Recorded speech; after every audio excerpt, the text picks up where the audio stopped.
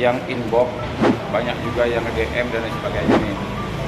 Karena ini kan ada awalnya ada 4 DPO kan, ada 4 DPO, yang terakhir jadi 3 DPO, kemudian menjadi satu DPO. Nah tetapi ini kan netizen-netizen ini kan sudah apa namanya bisa kita bilang bahwa mengarah ya, mengarah ke Peggy Setiawan yang ada di Cianjur, terus juga ada bermacam-macam lah.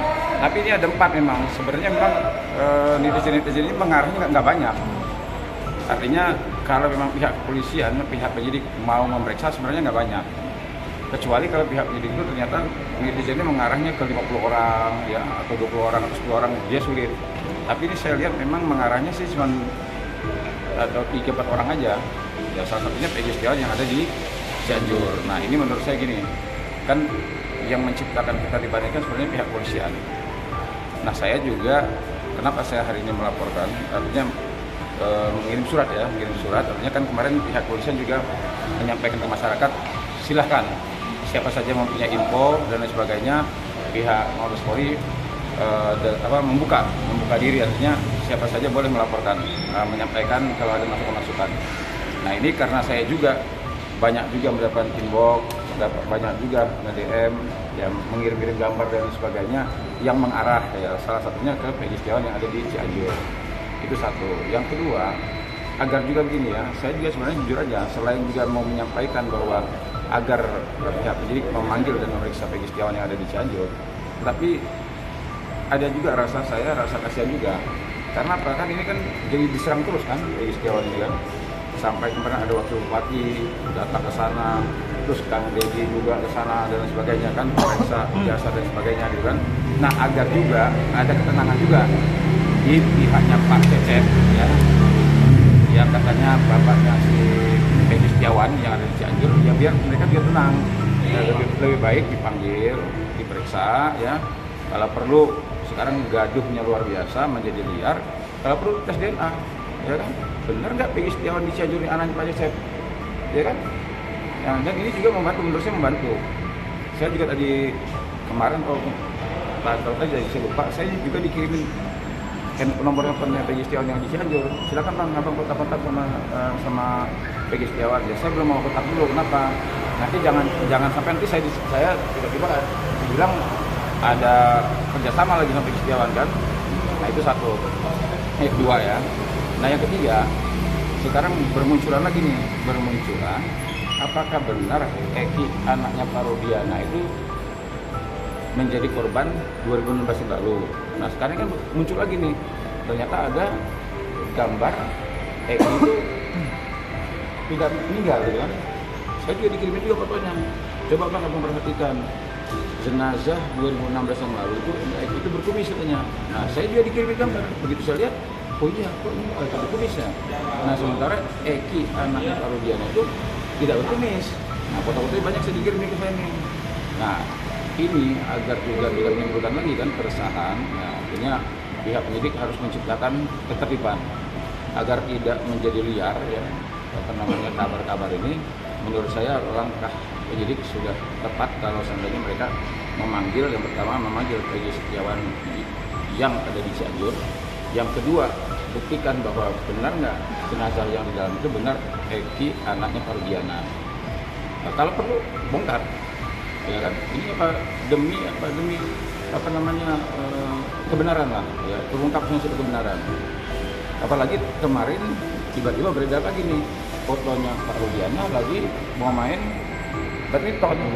Ya kan?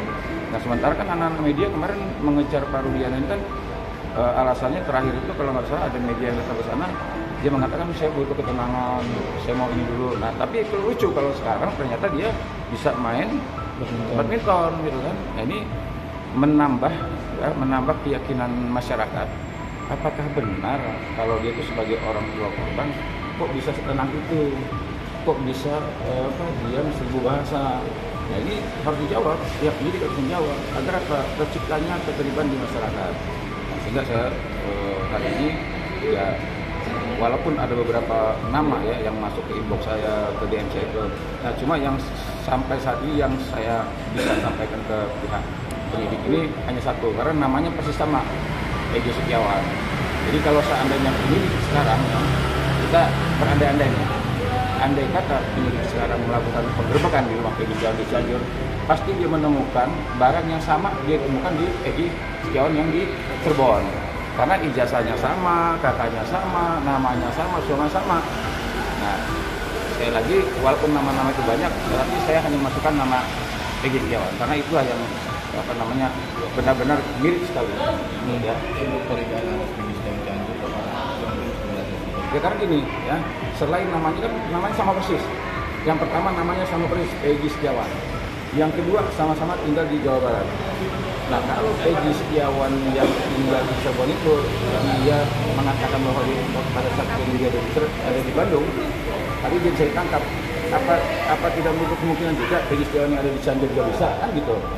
Nah yang lebih yang lebih membuat saya itu kenapa saya memberanikan diri menyampaikan berkas ini ternyata Peggy Setiawan yang di Cianjur itu anak moderator, anak apa namanya itu moderator.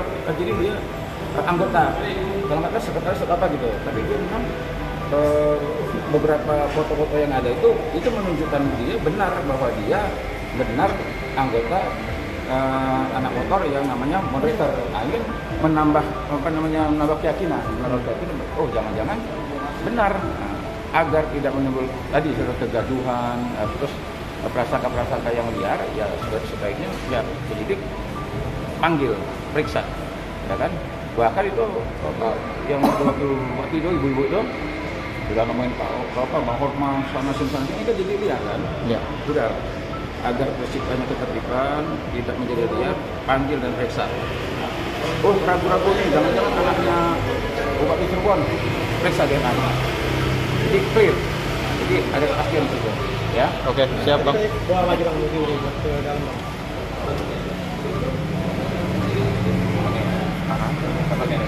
Ntar aja bang. gitu ya.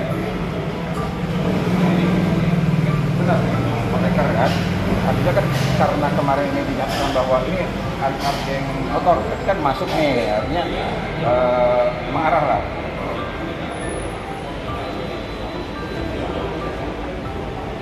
Ya, ini, ini sampai sampai di itu dikasih terus apa kasih petunjuk arahan. Nah ini ini nah, fotonya ini fotonya ini fotonya ini fotonya. Jadi selalu diri kan ini masuk semua ke inboxnya ini nah ini jasanya nih ini jasanya benar Peggy Setiawan. Ya ya artinya kalau seandainya eh, pihak penyidik datang ke rumahnya ya tentu mendapatkan bukti yang sama.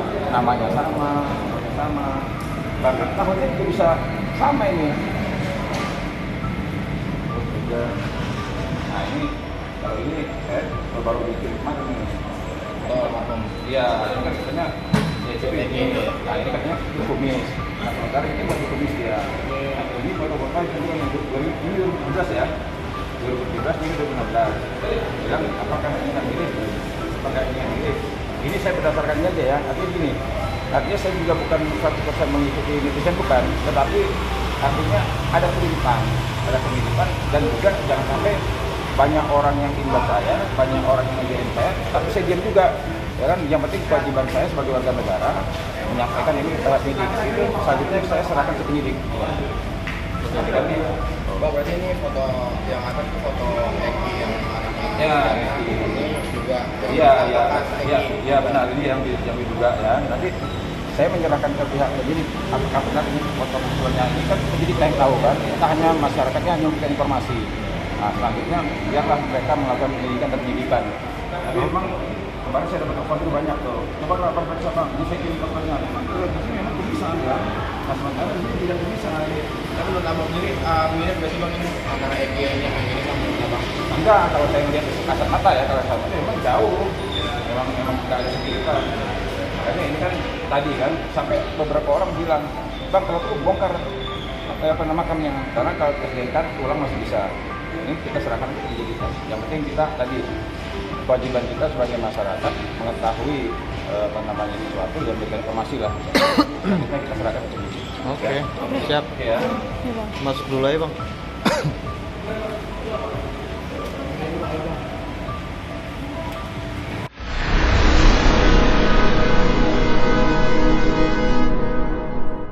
Jadi jangan lupa untuk subscribe Cumi Cumi. Ditekan ya tombol lonceng merahnya.